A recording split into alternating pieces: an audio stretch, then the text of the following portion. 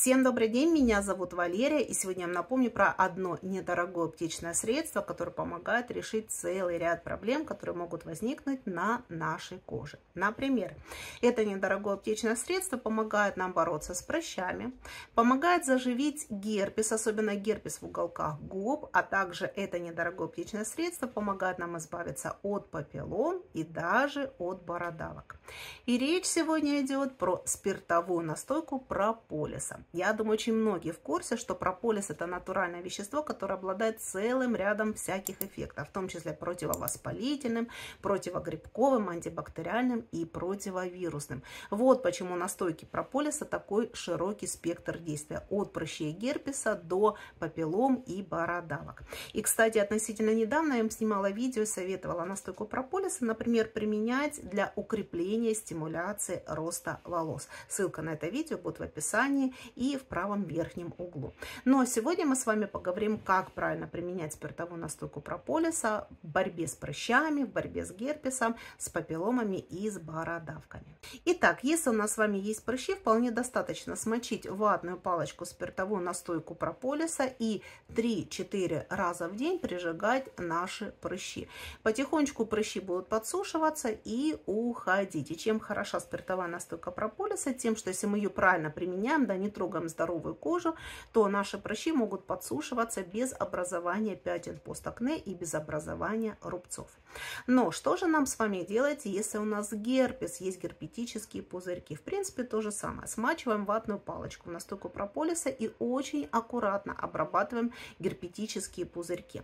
Во-первых, настойка прополиса обладает противовирусными свойствами. Она будет способствовать быстрейшему заживлению этих самых пузырьков, их подсушиванию. И, кстати, она еще очень хорошо удаляет зуд, который возникает на фоне вот этих самых пузырьков. Но я бы вам посоветовала подключить к настойке прополиса еще мазь календулы. По мере того, как ваши пузырьки от герпеса будут покрываться корочками, будут подсыхать, смазывать вот эти самые уже подсушенные пузырьки сверху мазью календулы. То есть вы будете усиливать эффект настойки прополиса именно мазью календулы. И еще быстрее ваши пузырьки от герпеса будут подсыхать, залечиваться и уходить без возврата.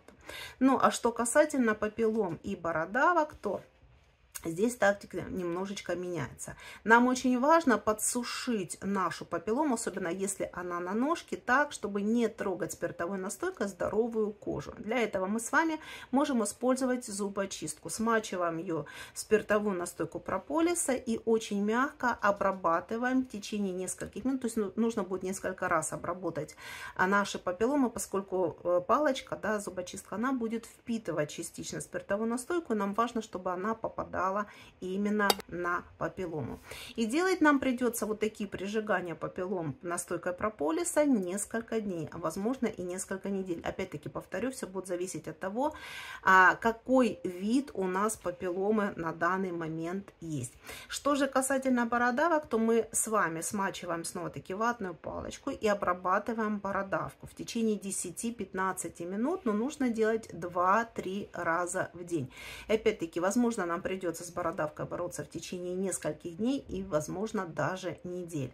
Но результат очень и очень хороший. Итак, все очень просто. Покупаем недорогую аптечную настойку прополиса и используем по назначению. Ну и в принципе должна сказать, что прополиса потрясающие свойства, поэтому эта настойка всегда вам пригодится. Во-первых, ее можно использовать не только для стимуляции роста волос, как я вам уже проговорила, но ей можно полоскать горло, например, при ангине. Также можно делать раствор водной спиртовой настойки прополиса и обрабатывать, например, если у вас есть какие-то раны и ссадины. Ну а теперь минутка благодарности. Я хочу поблагодарить вас, мои дорогие зрители, за ваши донаты, за ваше спонсорство на моем канале, за ваше супер спасибо. Я напомню, что последний год все эти деньги идут на помощь харьковчанам, которые пострадали во время боевых действий, которые остались без жилья, которые получили ранения. Также мы поддерживаем стариков, мы поддерживаем тех пенсионеров, которые являются опекунами своих малолетних внуков. Ну и по возможности мы помогаем животным. Поэтому спасибо вам большое за поддержку харьковчан через мой канал. Ну и напомню, что ваши донаты вы можете ставить любым удобным для вас способом по ссылкам, которые есть в описании под любым видео. Еще раз огромнейшая вам благодарность от меня.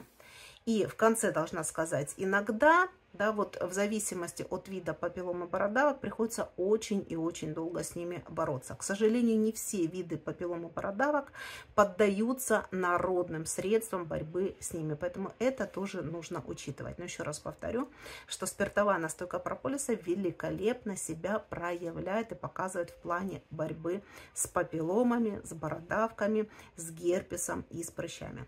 Но в следующем видео я еще расскажу про одно аптечное средство, которое тоже нам помогает бороться с этими проблемами. Берегите себя, берите себя на вооружение и будьте здоровы!